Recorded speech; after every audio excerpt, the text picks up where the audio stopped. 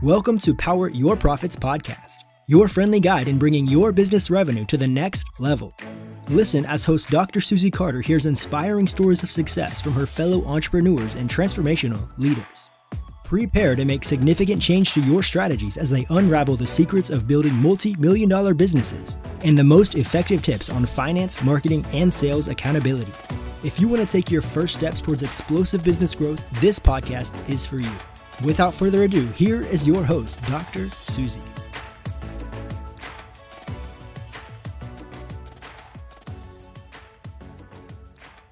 How do you go from broken, broken, from poverty to prosperity? Well, my next guest, Sir Darren Jacklin, stands as a paragon of a professional achievement and philanthropic dedication.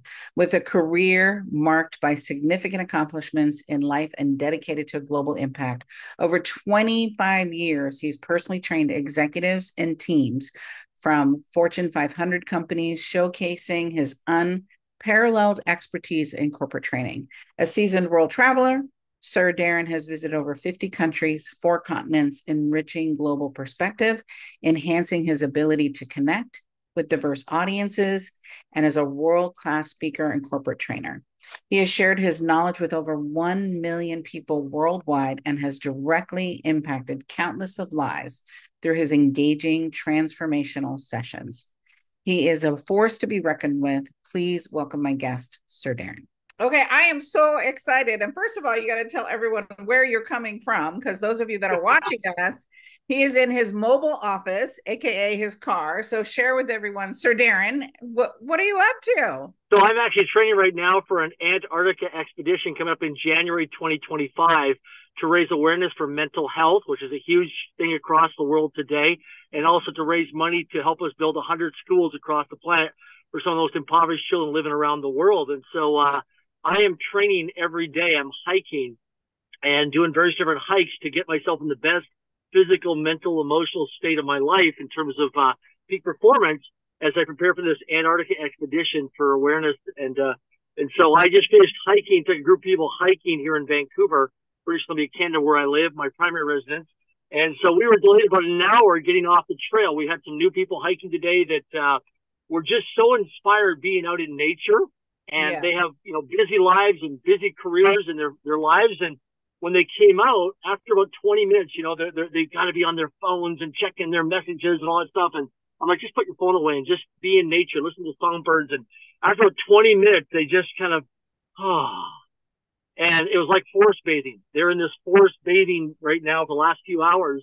And we took an hour longer than expected uh, because people are just just relaxing and de-stressing. That's one thing I love about hiking and being in nature is it does so much for our mental health and our mental well-being. And so, uh, I'm here today in my car right now here in the parking lot of the hiking trail here in Vancouver, Canada right now. Well, I love that. So tell me about the expedition in our Antarctica. How long is it? What are we doing? How do we support you? Like this was not our agenda, but look, I'm an advocate of mental health because uh, most of yeah. right now, Sir Darren, which is amazing that you're having this conversation. It's anxiety and stress and depression. Absolutely.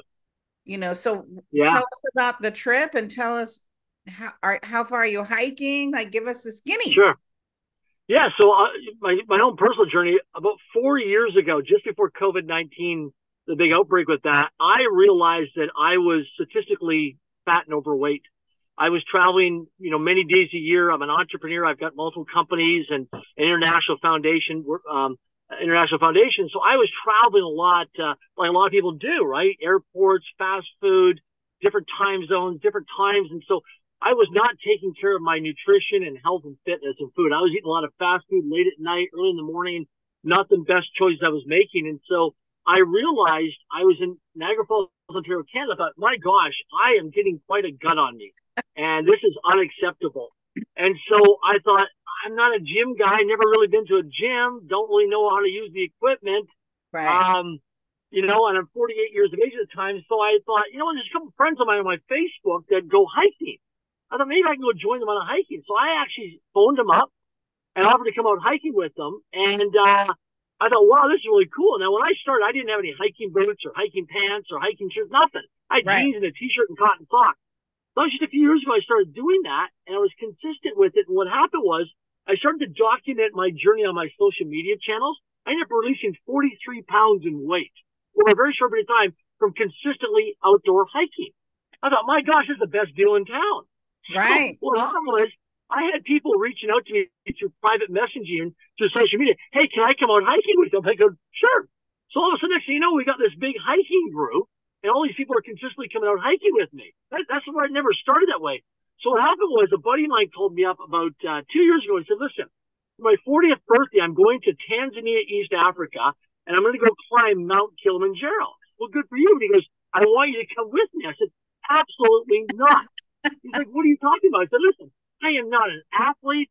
You know, you have to be a certain kind of person to do that. I said, that's just not me. I don't have the genetic makeup. And he goes, there, listen, as you know, all species are equal. Because you're an overachiever in business and finance. You've done very well you can, you've got a year to train for this. And I said, listen, Aaron, this is, but why would you waste your time and energy calling me and ask me to do this? Because, because I know that you can climb Kilimanjaro if you train for it.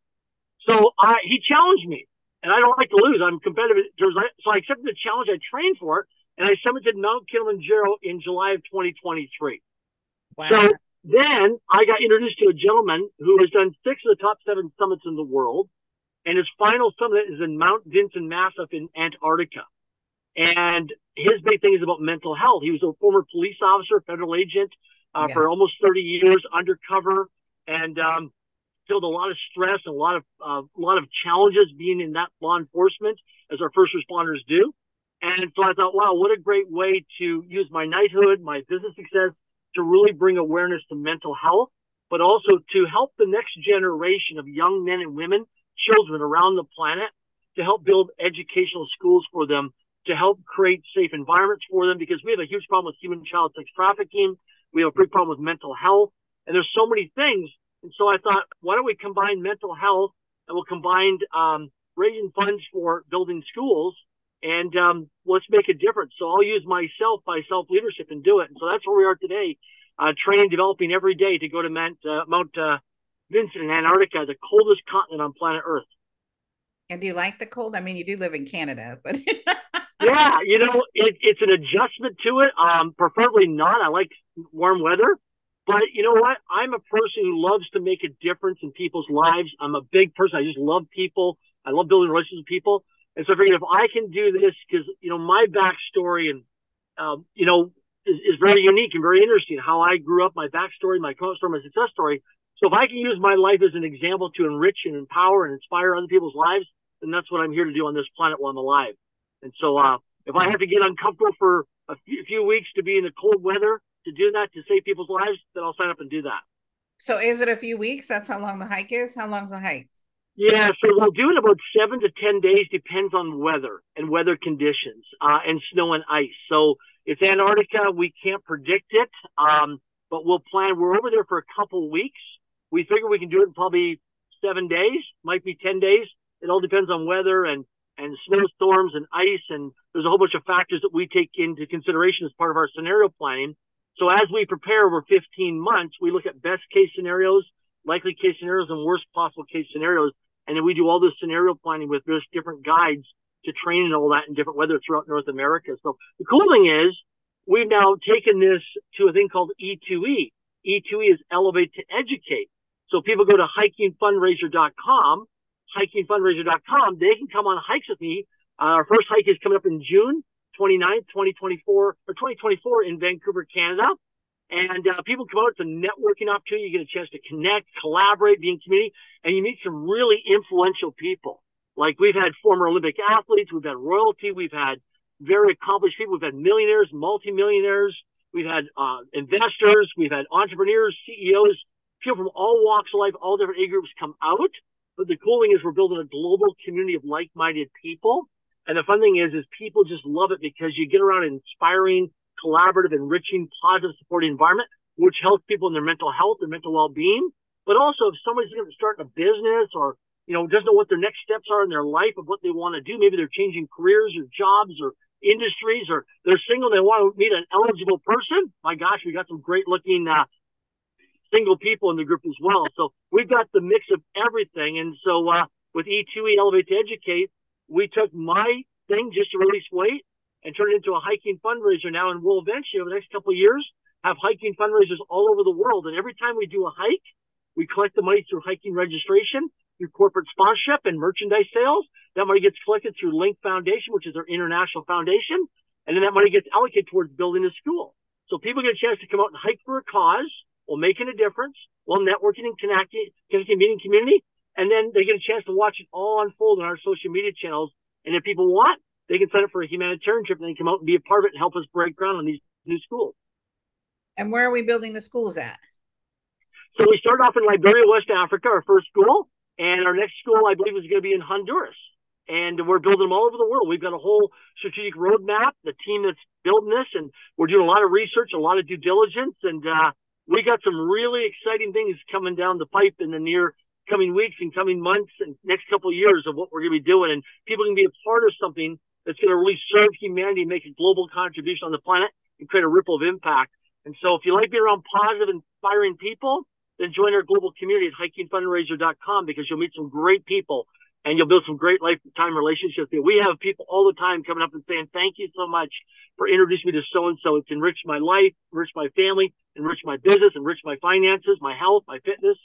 So uh, that's I get great joy out of this and great satisfaction knowing that I can make a difference in people's lives and create an environment where people feel safe, but they also feel supportive and enriched and empowered.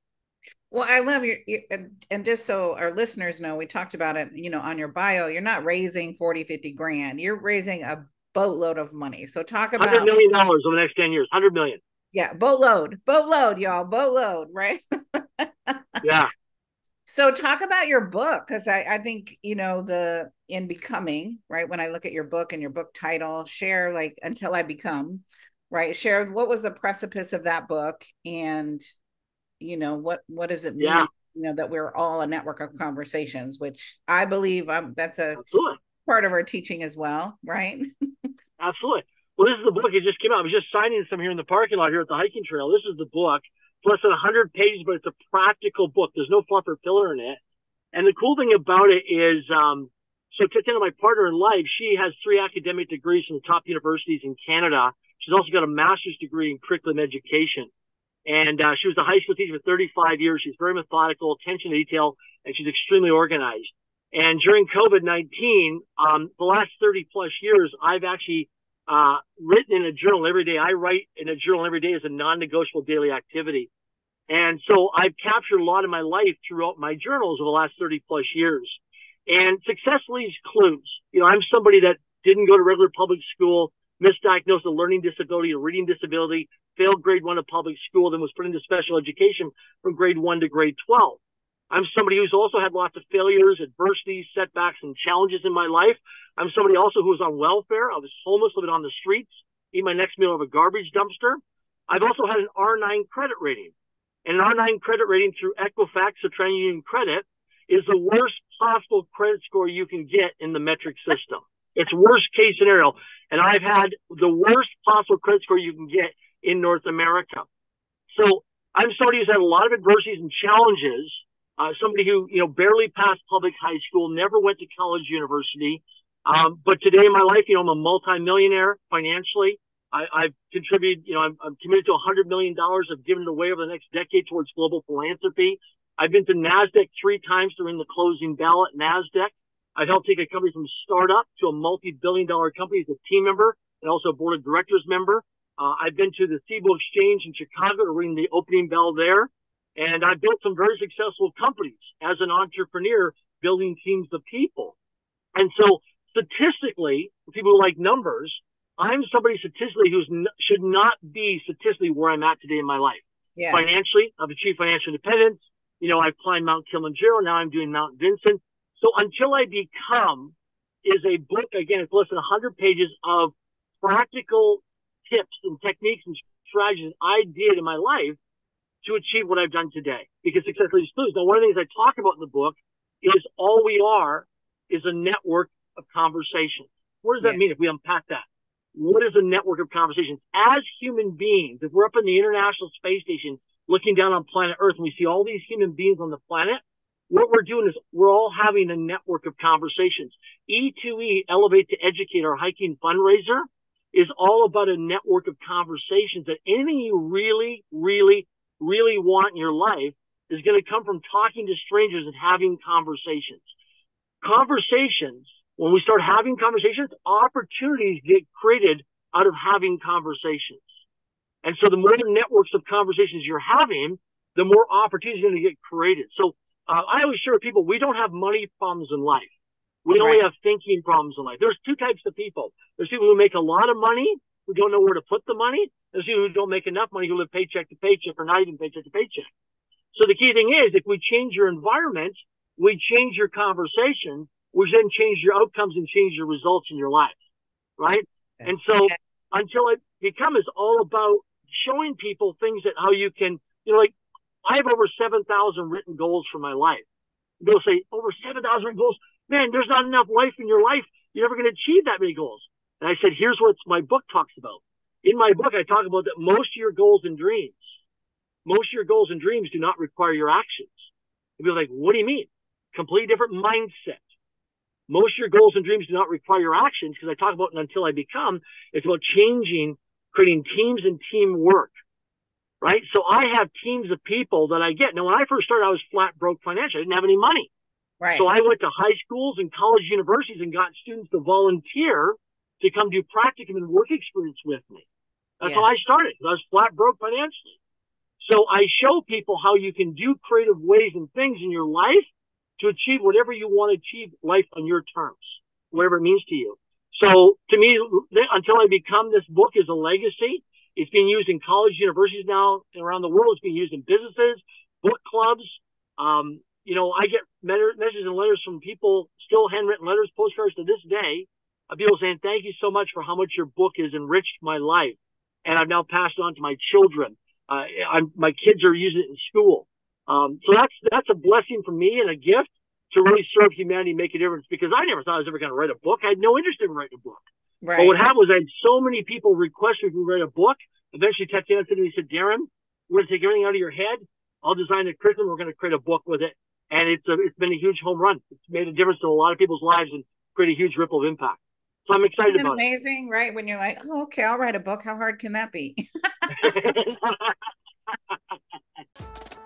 You're listening to another episode of Power Your Profits podcast.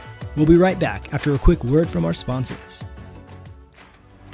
Are you tired of struggling to take your business to the next level? Power Your Profits is the game changing book you've been waiting for. Dr. Susie Carder, creator of the Predictable Success Method, reveals her proven strategies for explosive growth. From daily operations to marketing systems, this comprehensive guide empowers you to achieve predictable revenue and profit growth. Don't miss out on this invaluable wisdom. Transform your business today. Find your copy at books.poweryourprofits.com. Are you tired of pouring resources into strategies that don't work? Say hello to Dr. Susie Carder, your future fractional COO. With Dr. Susie in your corner, your business can skyrocket to seven figures and beyond. With a track record of creating thriving businesses, trust that you are in good hands. Head over to coo.poweryourprofits.com and let us put some magic into your business growth. So, talk about how you how you support people in taking their obstacles and opportunities because you have a strategy for that. Yeah. So the key thing is, is that you know it's a crisis or an opportunity. And so if you and I were to watch, let's say, example, CNN News, for example, uh, people watch and they feel, uh, you know, uh, negative or they feel triggered by it or like, oh my gosh, the news is so depressing. I look at it as opportunity zone in terms of obstacles into opportunities. So the thing is, is that I'll give you an example. I was just hiking just recently, just just a little bit ago, with a former police officer. He was just hiking with me, and he said, "Darren, I just retired from law enforcement." And he says, "How do I now become an entrepreneur or a business owner?" I right. said, "Well, you learned a lot of skills as a law enforcement officer about how to read human behavior, how to do detective work, how to run, you know, files, investigative work. You learned a lot of stuff in your your, your career as a government uh, federal employee, right, as a police officer." And so now what you do is some things are secretive and you can't talk about that. And that's your oath and that's your, your sword of season. I get that. But there's some things that, you know, are already out there in the public domain that are in the public library or on the internet that you can share in a practical way. So now it's turning that obstacle where he's stuck as a retired police officer to now turn that obstacle into an opportunity. So the key thing is it's training your mindset to see when people are in a crisis, when people are in a setback, a challenge. So I'll give you an example. When when in life, when you know our plumbing doesn't work, we call a plumber. When you don't yeah. feel good, you go for a massage therapist, a chiropractor, a reflexologist, an acupuncturist.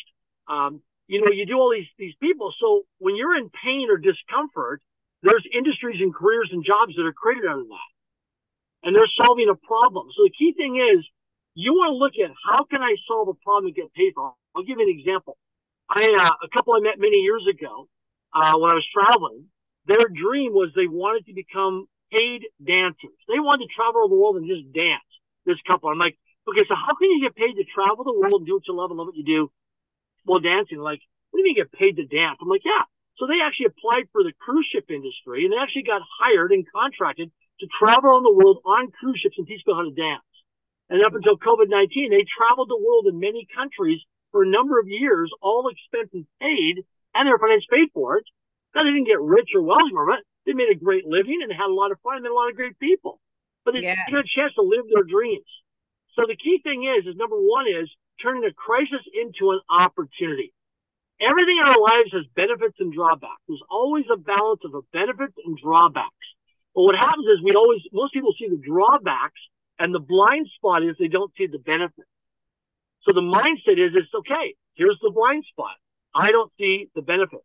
So start training, developing your mindset to start seeing the benefits and then change your environment of the people that you're around and the people you spend time with and associate with so they can start to help you unpack and start to see the opportunities and how you can monetize and turn those opportunities into multiple revenue streams, which I've done, right? Like I, um, I've been buying accounting firms and bookkeeping firms across North America.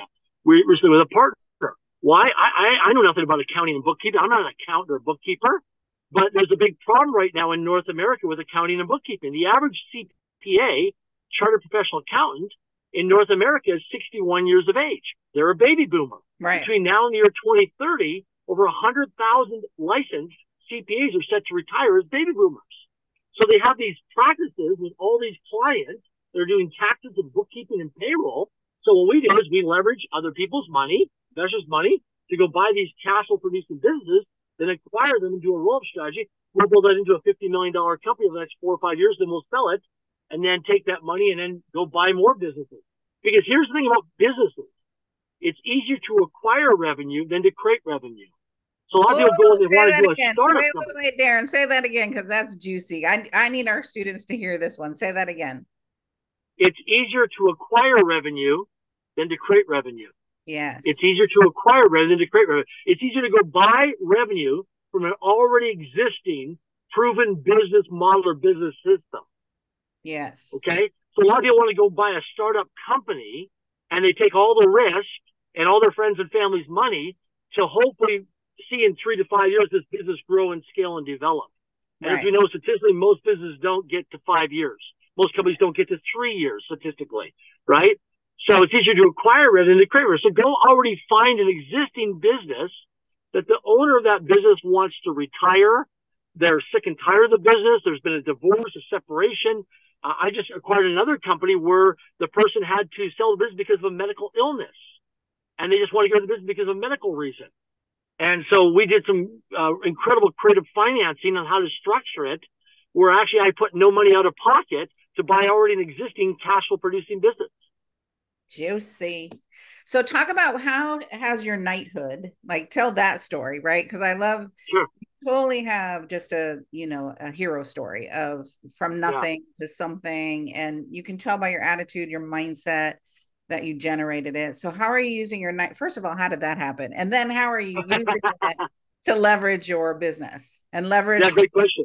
your philanthropy work yeah so in 2011 i remember seeing sir richard branson right from the virgin group and i remember you know seeing a lot of things on the media about him and social media and on the internet and and reading his books as well. And I was like, wow, wouldn't that be cool? So I just in my mind would visualize back in 2011, wouldn't it be cool if I would became Sir Darren Jacklin? Sir Darren Jacklin. I was just, you know, men, you know, thinking about this in my mindset. I actually wrote it down as one of my 7,000 goals to be knighted as Sir Darren Jacklin. Had no idea how it was ever going to happen. Yeah. So what happened was, um, I've had a chance uh, to travel the world multiple times. You know, I, I spent 25 years as a very successful corporate trainer in 50 countries on four continents. So as I was traveling, I was going to charity events, fundraising events, different events where I'd meet a lot of different centers of influence and influential people. And so I got a chance to meet some really influential people over the years, kept in touch with them. And I'm all about being relational, not transactional. That's yeah. the key thing. Be relational, not transactional. There's a lot of people today that are on social media that are transactional, but not relational. They're not building relationship equity where people get to know you, like you, and trust you. Okay. So what happened was, uh, in 2022, I got referred to what we call the Royal Order, which is actually over in Spain. And uh, I was nominated by two people that have already been knighted that um, introduced me to the Royal Order. And so I got a telephone call in January of 2022 saying that, uh, you know, your name has been submitted and uh, you're under review. And would you be open to spend the next four to six months under review and through due diligence to see if you qualify to be knighted to Sir Darren Jacklin? And I'm like, so, okay, sure, I'm open to it, but I've got a lot of questions as part of my discovery and due diligence process. So my first question was, how much does this cost? Like, do I have to write a check? And they actually took offense to that because you can't buy your way into the order. Right? It's right. like a Nobel Peace Prize. You can't buy it. So I was thinking, well, it's kind of like, hey, if I become the title sponsor and I become a corporate sponsor and I write a check, maybe I can be, a, I can get this. And they're like, no, no, no, it doesn't work that way. Right. So I realized there's over 400 people in the world that were nominated. Over 400 people globally from all walks of life, or all these different countries around the world. And I thought, okay, well, how many people are they going to select? And I was told there was less than 25 people. It's actually 24 people they selected. So what I learned was that, um, so there's a whole bunch of questions I had to go through, background checks, police background checks, social media audit, reference checks, all these things over a six month due diligence process.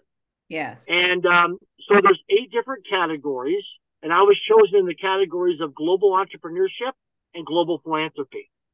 And uh, so what happened was, um, in about April of 2022, I realized, okay, I'm getting shortlisted, shortlisted, shortlisted here. Uh, you know, the questions, the interviews, the, the frequency of back and forth communication. Um, and then I've met with the royal family a couple different times as well.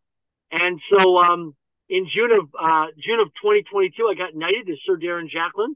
Uh, you know, normally we fly over like to Spain, but because of COVID-19 and all the rules and lockdowns, I actually flew to the United States of America to Las Vegas and I got knighted at the uh, Venetian Resort. We, they rented the resort there, the hotel, and that's where I was knighted. And so I got knighted. So out of 400 plus people nominated globally, they chose 24 people, uh, 15 men and nine women, two Canadians, a few Americans, and the rest are from all over the world. And so 24 of us got selected and uh, it was an incredible experience. And so I leverage my knighthood now to make a global impact. Um, one is to building these hundred schools around the world uh, through Link Foundation and through Elevate to Educate. And the other one is to really create awareness through mental health. So the knighthood, it's opened up a lot of doors for me. It's gotten me access to a lot of influential people around the world and a lot of seats at a lot of incredible tables with some really influential people. And so I use as a strategy to leverage it to make a better difference in the world and make a bigger difference in the world. So that's how I'm using my knighthood is to leverage it to make a greater difference in the world. I love that, right? Because it is, it's all about, you know, I always tell my students and my clients it's a game, right? How are you playing the game? Yeah. Right? Don't get caught up in Absolutely. the specifics of it. Don't get don't believe your ego, your shigo, your press, right? Stay Absolutely. humble. yeah, uh, so true. I love that. So, how can people? First of all, how can people get your book? Because it's very fascinating. So I have yeah. your hiking link, but where how do we get your book? You can go to you go to Amazon.com or .ca and just go until I become, or you can Google it. it comes up on Amazon, many different book websites all over the world.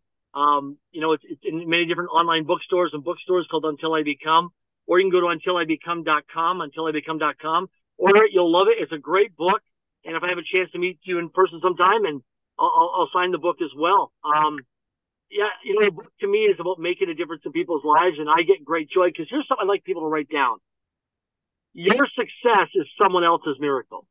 Yes. Your success is, or my success, or your success is someone else's miracle. Really sit with that and just let it feel the words that my success is someone else's miracle. So the more prosperity, the more abundance that you create in your life, the more you you can enrich and bless and be of service to other people because your success is someone else's miracle. I love that. You have been just a breath of fresh air and a great reminder. If you want to support the uh, cause, please go to hikingfundraiser.com. I'll put it in the show notes. And listen, if you know somebody needs to hear Sir Darren's words today, I need you to forward this podcast. I need you to post it on your social media, share with people because this man, I got goosebumps just talking to you. I'm excited. Let's go hiking, Sir Darren. Absolutely. Love to bring you. Thank you for your time. Thank you for your stewardship. Thank you for being grateful to be here. You know, obedient to the call, right? You're obedient Absolutely. to the call. So we appreciate you. You are a beast and we'll support you in your going to Kilimanjaro. We'll go go make a difference or Antarctica now, right? So Antarctica, yeah, Mount Vinson, yeah, in Antarctica. So um, I'm assuming your social is Sir Darren Jacklin. Doc, yeah. on social? Yeah, you just Google my name. Yeah, you'll come up on all the social media channels. Just Google my name, Darren Jacklin or Sir Darren Jacklin, and you'll see me all over the social media channels. You can follow what we're doing and come out hiking with us or support the hiking cause, and uh, you'll meet some great, great people. Have a great time. Awesome. Thank you for your time. Thank you for who you are. We appreciate My pleasure. And we look forward to watching your journey. Absolutely. Thank you for joining us for this episode of Power Your Profits podcast. Let these building blocks from today's most successful industry leaders equip you with the necessary resources and tools to finally establish the highly profitable business of your dreams. Want to hear more? Listen to more episodes at www.poweryourprofitspodcast.com. And don't forget to subscribe to the show. Now is your time to rise to the top of your game. So be sure to catch our next episode. Until next time.